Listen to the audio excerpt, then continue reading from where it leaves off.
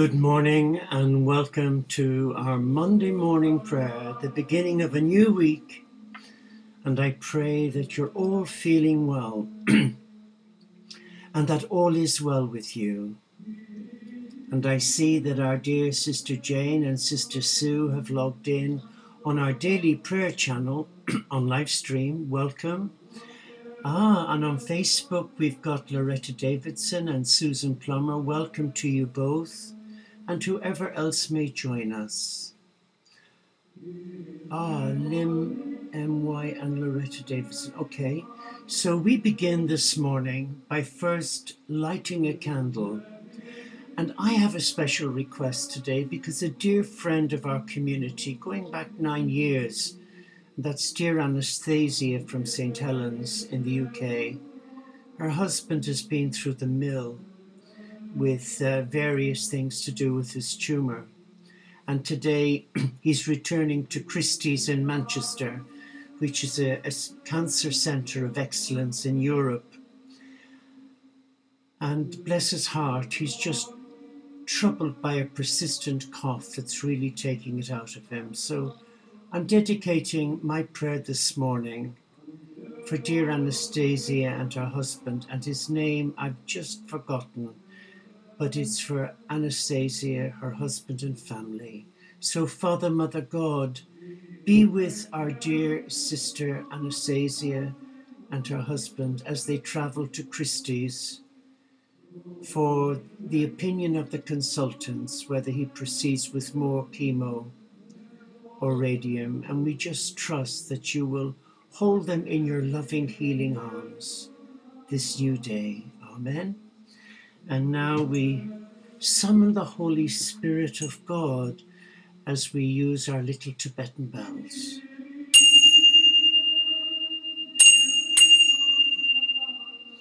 So let us just for a moment be still as we come into the presence of love.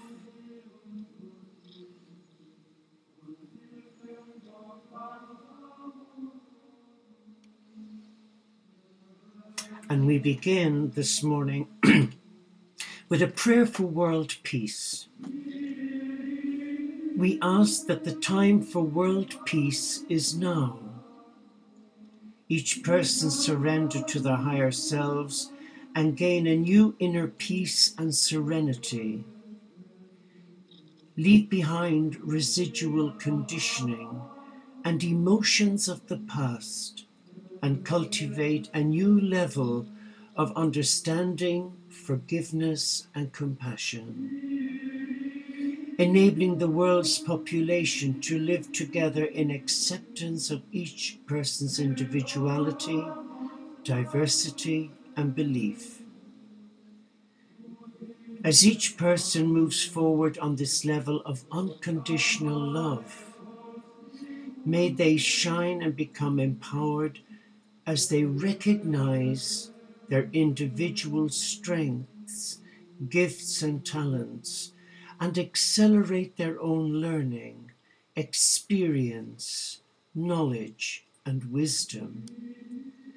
May each person make a difference in our world and from this life experience move forward with understanding and enlightenment as this prayer is said with the highest level of love, sincerity, and integrity, in love, in light, and healing. So be it, so be it. And now for our morning prologue for this Monday morning of our brother and sister Essenes of Mount Sinai, we read we enter the eternal and infinite garden with reverence to the heavenly Father, Mother God, the earthly Mother, and all the great masters, and reverence to the holy, pure, and saving teaching, and reverence to the brotherhood and sisterhood of the elect. Monday morning, we commune with the angel of life, saying, Angel of life, enter my limbs and give strength to my whole body. You now contemplate trees as you feel yourself absorbing vital healing energy forces from the trees and the forests of the Creator's garden. Amen. And now, our first reading this morning, uh, here we are, is a beautiful prayer from favorite prayers chosen by people from ordinary walks of life. And the first one is Paul Munsey, a quadriplegic. I don't want to be the Christ, dear Lord. I'd rather be myself and feel free. You keep on calling me, and overawed, I beg you, saying, Dear Lord, don't choose me. I can't do miracles or prophecy. I'm weak and weary, sick and soaked in sin. Yet day and night I hear the same reply I love you and I want you to begin. O oh Lord, I feel you love me even though you tell me things I do not want to know. That's a real humdinger of a prayer, isn't it? And then there's another beautiful one from Helen Gibbons, a youth worker. God be with you, with God. No prayer unanswered is, if he says yes, tis well, or he answer wait, rest suppliant at his gate. He never answers no, but that in time some richer, fuller gift is thine. Isn't that lovely? And now for our hymn from Sing Your Faith from the Unitarian Hymn Book. And it's hymn number 205. And it's When I See the Purple Heather. When I see the purple heather like a gown upon the hill, when I see the lark ascending to the sweetness of its thrill. I'm reminded of the mountain and the love that will not cease, of the teacher of God's kingdom and the angel's song of peace.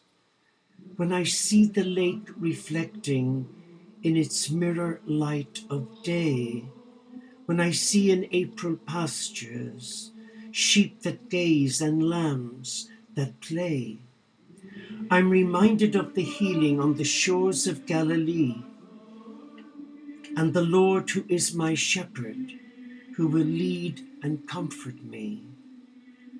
When I see the pathways winding on and on so far ahead, when I see the river widening as it flows along its bed, I can hear a voice proclaiming, I'm the way, so do not grieve. Peace I give like flowing waters. Do not fear, my peace I leave. And that was written by D. Elwyn Davies, 1927 to 1997. When I see the purple heather. Not lovely. I'm guided now Ah, where are we? Oh, here we are. I'm guided now to read from this little book called Celtic Prayers by David Adam, and it's a pr- prayers for Monday. God bless the earth and all its living creatures. God bless the earth and its rugged features. God bless the earth, every ocean and sea. God bless the earth and water's clarity. God bless the earth, its atmosphere and air.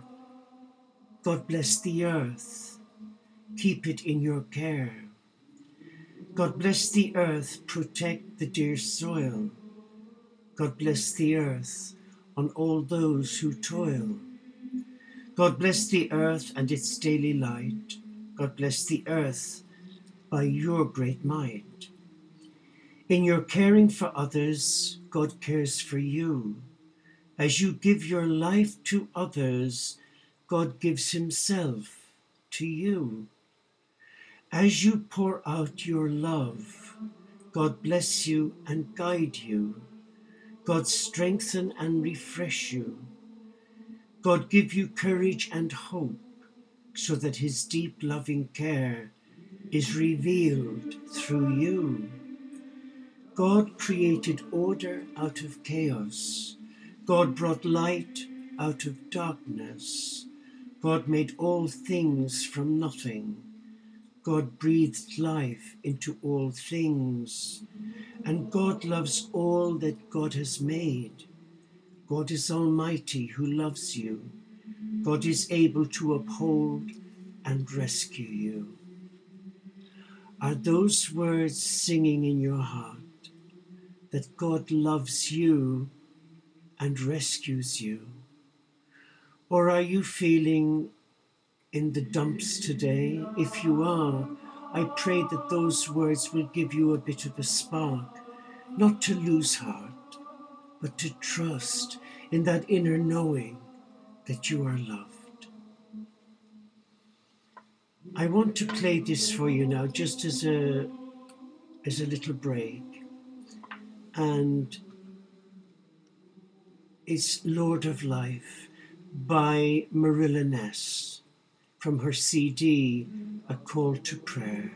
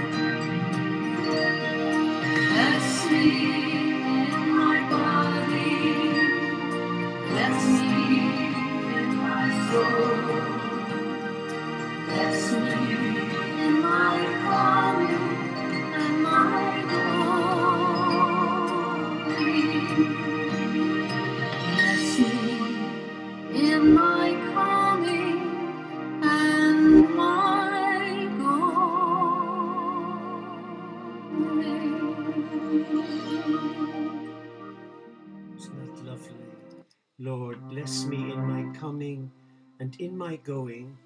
And just as I was listening to the music, I was drawn to read today's reading from the little booklet United Christian Broadcasts. And for Monday, the 24th of July, we read So three mighty men broke through, 2 Samuel 26, verse 16. David knew how to develop other leaders. He didn't use people to get what he wanted. He recognized their talent, gave them opportunities to serve, then rewarded and honored them. And as a result, they were willing to lay down their lives for him. In 2 Samuel, verse 23, we read David said with longing, Oh, that someone would give me a drink of the water from the well of Bethlehem. So the three mighty men broke through the camp of the Philistines, drew water from the well, and brought it to David. It's impossible to learn leadership without actually leading. After all, leadership is action.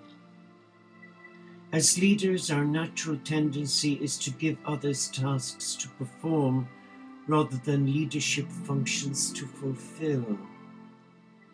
But if we don't delegate leadership with authority as well as accountability, our people will never gain the experience they need to lead well. If you're a leader, answer this question honestly. Are you providing your people with leadership experiences? But what if they fail? You ask, count on it, they will. But if you've picked people with genuine leadership ability, they will learn from it. Dr. John Maxwell writes As I've grown older, I've come to think of myself as a lid lifter. That's my main function as a team leader, a lift lifter, a lid lifter. I've never heard of that before. If I can lift the leadership lids from my members of my team that I'm doing my job. The more barriers I remove for my people, the more likely they are to rise up to their potential. David developed leaders who became known as mighty men, and you must invest in others too. And God, through Christ, has invested in you and me. God has given to you and me talents, gifts. But you may be thinking, oh, why me? Well, why not you? And I remember a few years ago when I was really struggling with ill health, and I really became quite morose and full of self pity. And for a professional nurse to exhibit those, oh, oh, I was just a waste of space. But in prayer, I was grumbling with the Lord and I just said, Lord, why me? Why am I having all of this mental health suffering? And he said, Why not you? And I've reflected on that every time I become ill. Why not me? If God can give me the sun, the moon, and the stars, night and day, then we know that with every good gift, there's also another gift, and that is the gift of endurance. And through our suffering, rather than wallow in why me, let's bless the suffering. Let's bless whatever it is that niggles at our inner peace and just bless it and give it to God as a prayer. And that's how I manage severe depression every day. I just encapsulate it in God's love and I just present it to God as a prayer. And then ask for the strength to be able to get through each day. And it works. It really does work. So we come now to our morning intercessions where we bring one another where we bring the whole family of God, where we bring all faiths and none, because we are all equal in the eyes of God. God did not create Baptists, Christians, Protestants, Jews, Muslims, and Hindus. God created an amazing child of God, whole, perfect, and complete in the eyes of God. It is we who've created the labels for our different fellowships, and what a mess we've made. When you look at the historical woundedness within the Abrahamic faith of Jew, Muslim, and Christian down through the centuries, oh dear me. But today, you and I can do something to counteract all that negativity and hate. We've come here in love. And I'm not asking you for your belief. And that was the request from Jesus and Francis at the tomb of Francis in Assisi.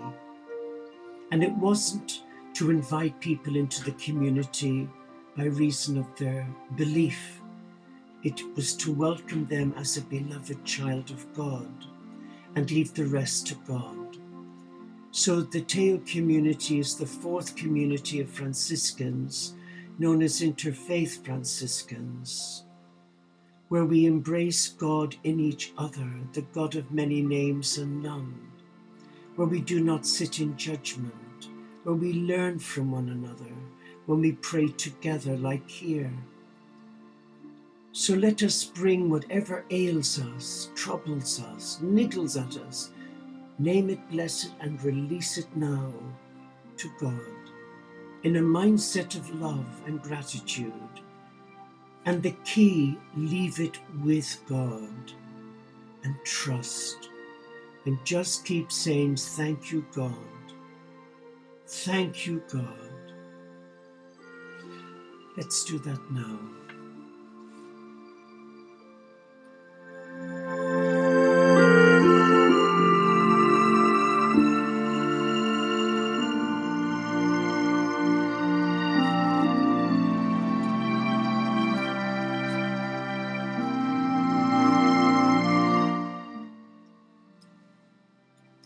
Guided to pick up my beautiful little book of Celtic prayers from Iona, and the intercessions there are succinct, short, and sweet. O Christ of the poor and the yearning, kindle in our hearts within a flame of love for our neighbour, for our foe, for our friend, for our kindred all. From the humblest thing that lives, to the name that is highest of all. Kindle in our hearts within a flame of love. We pray now for this coming day and for justice and for peace in our beautiful world, the Cathedral of God. This morning, when we went live, we remembered a dear, dear friend of our community and a dear friend to me, and that's Anastasia. She is the most beautiful spiritual soul you could ever meet. Her love of Christ is humbling, and He appears to her. And when you're in her company, you sense something very special. But sadly, poor Anastasia has had a lot of troubles to deal with in watching her dear partner and husband develop this tumor and backwards and forwards to Christie's. And today is an important day for her husband. And forgive me, I've mistakenly forgotten his name. But he's going to Christie's anyway this morning in Manchester, here in the UK. And Christie's is a world leader. It's a centre of excellence for oncology, for cancer, in the whole of Europe. We pray God's blessing on them both and on their family. But I want to pray for each one of you here, for dear Sister Sue on our live stream channel, and our dear friend Paul, and his son Emily, uh, daughter Emily, and son Ben. I want to pray for our dear Sister Jane in Coventry, who's here with us, and pray for renewed strength and healing for our dear Jan, who's here also on our prayer channel, and for her friend Sonia. And I just want to check that name, if I may. I think I might have got it wrong again. Just bear with me. Ah, here we are. Here we go.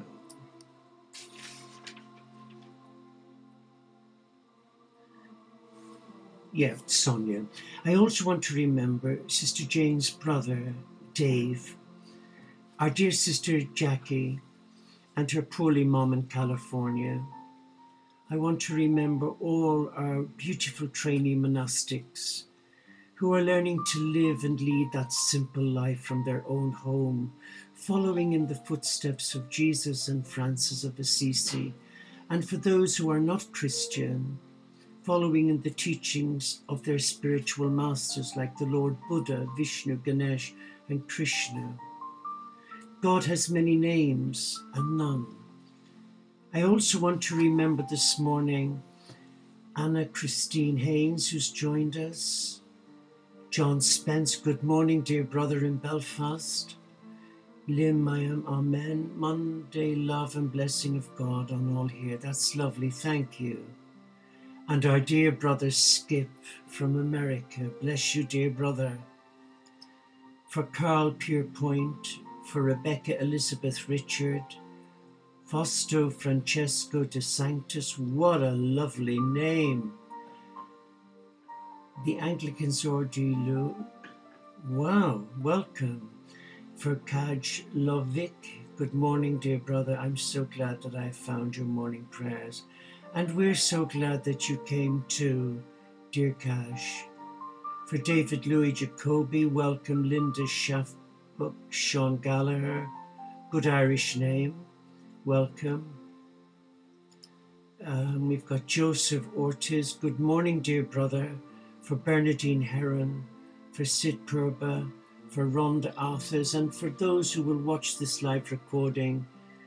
I just bring each and every one of you now with the whole family of God, all faiths and none, and especially those who are suffering from mental health issues, from cancer related illnesses, for the children of the Yemen who are dying in vast numbers from cholera, where they've only got dirty, infected water, for the people of Syria who've lost everything,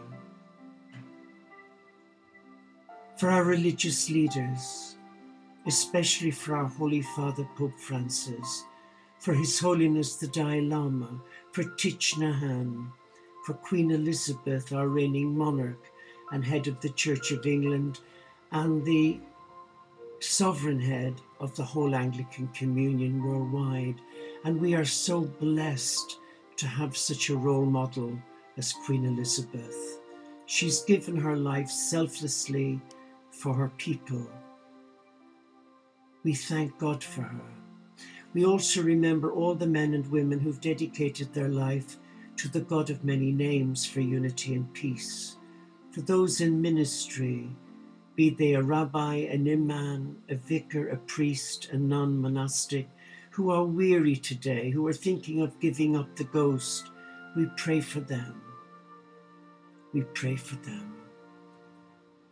We pray also for all on our prayer list, for Emma especially and her daughter Jemima, and for the many that email me of their intentions, especially Mary and her, the young friend she took in, Tabitha, who was homeless and abandoned and who's in hospital. We remember her in America. Let us now be still as we come back into the presence of love, because God is love. God is love. And I want to praise Sister Miriam's gift to my heart five years ago. And it's the Lord's Prayer from the Anglican Daily Prayer Book in New Zealand, where she lives. Eternal Spirit, Earth Maker, Pain Bearer, Life Giver, Source of all that is and that shall be, Father and Mother of us all, loving God in whom is heaven. The hallowing of your name echoes through the universe. The way of your justice be followed by all the peoples of the world. Your heavenly will be done by all created beings, and your commonwealth of peace and freedom sustain our hope and come on earth. With the bread we need for today, feed us. In the hurts we absorb from one another, forgive us. In times of temptation and test, strengthen us. From the trials too great to endure, spare us. From the grip of all that is evil, free us. For you reign in the glory of the power that is love, now and forevermore. Amen. Amen. And our closing prayer is a reflection from my heart to yours. God has no hands but our hands to know his work today. He has no feet but our feet to lead men in his way. He has no tongue but our tongues to tell men how he died. He has no help but our help to bring them to his side. We are the only Bible the careless world will read. We are the scoffer's gospel, so we are the scoffer's creed. We are the Lord's last message, given in deed and word. What if the type is crooked? What if the print is blurred? What if our hands are busy with other work than His? What if our feet are walking where sin's allurement is? What if our tongues are speaking of things His lips would spurn? How can we hope to help Him and hasten His return? as I come to blow out this light, which represents the presence of the God of many names and none, I ask the Lord Christ, our teacher, our physician, our good shepherd, who is the incarnate Son of God, to touch you now, to touch your hearts, your loved ones, and not forgetting those whom we have remembered here and especially Anastasia and her beloved husband. Amen. So go in peace to love and to serve our God. Namaste, Shalom, Inshallah, Pax et Bonum, Om Shanti, Solo di Caritas, Salam Alaikum, and may the peace of all that is sacred to you reawaken in your heart that you are a beloved of God. And it doesn't matter how far you've sunk into the ground, you are precious in the eyes of a loving God. If this is your bedtime, please sleep well. And if you're beginning your day like we are here, I wish you a truly blessed day. And if you are awake and you'd like to join me again, I'm back here at five o'clock this evening. So now I want to play this for you to thank God for your gift of friendship here. And as my granny used to say in Glasgow to me as a little boy, when a family prays together, they stay together. And we are a unique spiritual family. Please God, we stay together. Here we go. With our hearts. With our hearts we believe, with our mouths we confess, you are Lord, you are Lord. From this day till the end we will sing it again and again. You are Lord, you are Lord. With our hearts we believe, with our mouths we confess, you are Lord. You are Lord. From this day till the end, we will sing it again and again. You are Lord. You are Lord.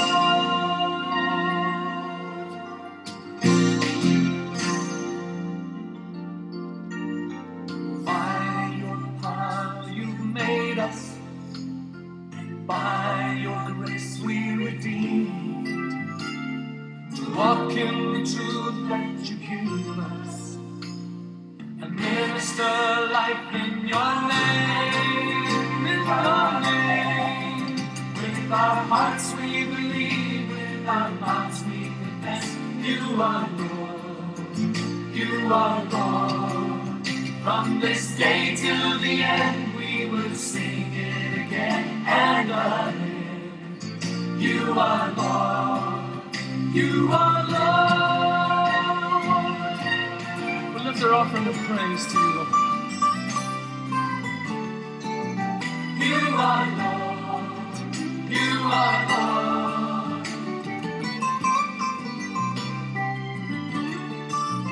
You are Lord. You are Lord.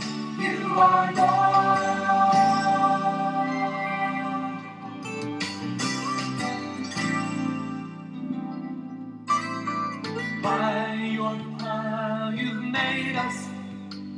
And by your grace we redeemed.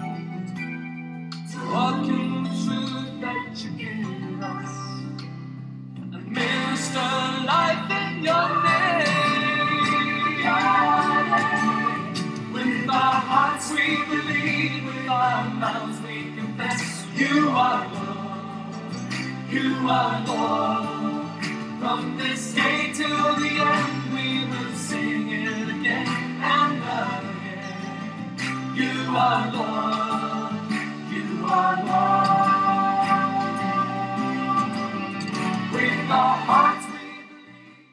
And now I wish you all a blessed, blessed day. Take care, each and every one of you, and know that you are loved here. And that we will always remember you in our prayer throughout the day. So till we meet again, God bless you and thank you.